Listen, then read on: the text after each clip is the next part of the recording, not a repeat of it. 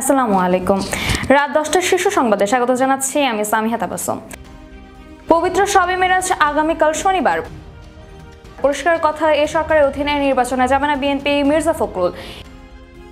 UN এর বড়টাও কিছু করতে পারবে না আওয়ামী লীগের নেতা। গুম হওয়া রবীন্দ্র ভাস্কর্যের মাথা পাওয়া গেল সোহরার্দি উদ্যানে সরকারের বিরুদ্ধে দেশবাসীকে ঐক্যবদ্ধ হতে হবে অধ্যাপক মুজিবুর রহমান। পরীক্ষায় ভালোবাসা দিবসের ফুলের চাহিদা নিয়ে প্রশ্ন। বিএনপির কর্মসূচি দেখে আওয়ামী লীগের মাথা খারাপ হয়ে গেছে খন্দকার মোশাররফ। হোটেলে থেকে মা মেয়ের মরদেহ উদ্ধার স্বামী পলাতক। ইইউ অবাধ নির্বাচন চাইলে কাদের সাহেবের মুখ শুকিয়ে যায়। চীনে একের পর এক গুম ধনী ব্যবসায়ী সর্বশেষ বাও ফ্যান শুনছিলেন শিরোনাম, এবার বিস্তারিত। আগামীকাল শনিবার দিনগত রাত্রে পবিত্র শবে মেরাজ পালিত হবে। ইসলামিক ফাউন্ডেশনের সূত্রে এ তথ্য নিশ্চিত করেছে। শবে মেরাজ মুসলমানদের কাছে বিশেষ মর্যাদার। ধর্মপ্রাণ মুসলমানরা নফল ইবাদত বন্দিকের মধ্য দিয়ে এই মূল্যবান রাত কাটান। এই দিন অনেকে নফল রোজাও রাখেন।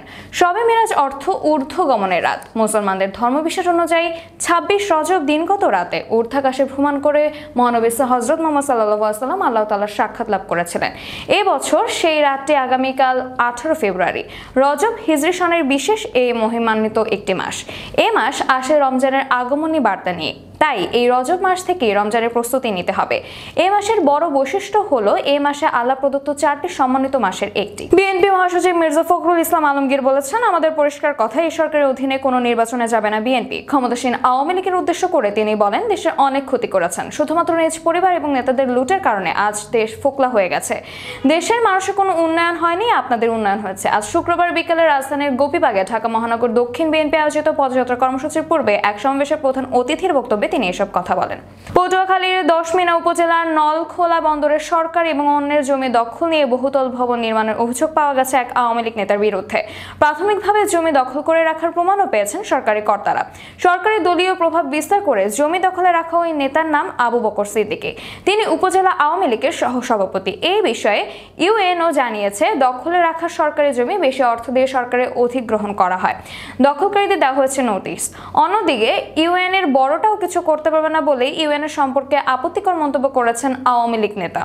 ঢাকা বিশ্ববিদ্যালয়ের ছাত্র শিক্ষক কেন্দ্র সংলগ্ন রাজু ভাস্কর্যের পাশে স্থাপিত কবি রবীন্দ্রনাথ ঠাকুরের ভাস্কর্যটি খণ্ডিত অংশ সৌরার্দি উদ্যান থেকে উদ্ধার করা হয়েছে।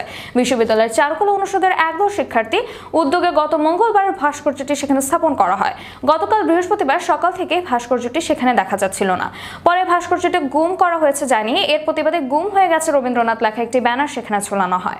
বাংলাদেশ জামায়াতে ইসলামী ভারপ্রাপ্ত আমির এবং সাবেক সংসদ সদস্য অধ্যাপক মুজিবুর রহমান বলেছেন, সত্য পথে চলা, সত্য কথা বলা, সত্যকে ধারণ করা ইমানের দাবি।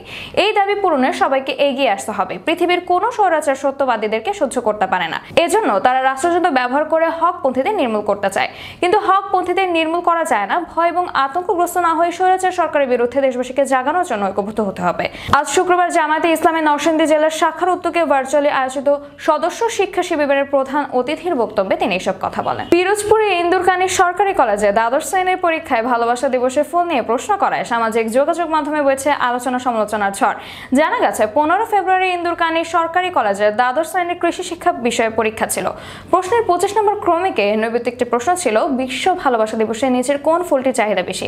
রজনীগন্ধা, গোলাপ, ডালিয়া নাকি চন্দ্রমল্লিকা?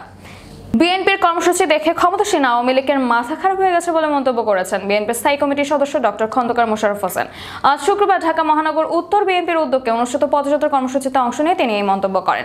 দ্রব্যমূল্যের ঊর্ধ্বগতির প্রতিবাদে এই যুগপথ আন্দোলনে দশ দফা দাবি আদায় আজ শুক্রবার ঢাকা মহানগর উত্তর এবং দক্ষিণ বিএনপির উদ্যোগে পৃথকভাবে পদযাত্রা কর্মসূচি পালিত হয়। ঢাকা মহানগর উত্তর বিএনপির আয়োজনে আজ শুক্রবার দুপুর আড়াইটায় উত্তরার জসীমুদ্দিন সড়ক থেকে শুরু হওয়া পদযাত্রা বিভিন্ন সড়ক প্রদক্ষিণ করে জমজম টাওয়ার সামনে গিয়ে শেষ হয়। কক্সবাজারে একটি আবাসিক হোটেল থেকে মা মেয়ের মরদেহ উদ্ধার করেছে পুলিশ। আজ শুক্রবার দুপুর দুটার দিকে শহরের হোটেল মোটেল জোনের সি আলিফ নামে হোটেলের চারশো এগারো নং কক্ষ থেকে মরদেহ দুটি উদ্ধার করা হয়। কক্সবাজার সদর মডেল থানা পুলিশের ওসি রফিকুল ইসলাম বিষয়টি নিশ্চিত করেছেন। ওসি রফিকুল ইসলাম বলেন, নিহত সুমাদে পঁয়ত্রিশ চট্টগ্রামের বাঁশখালী এলাকার বাসিন্দা।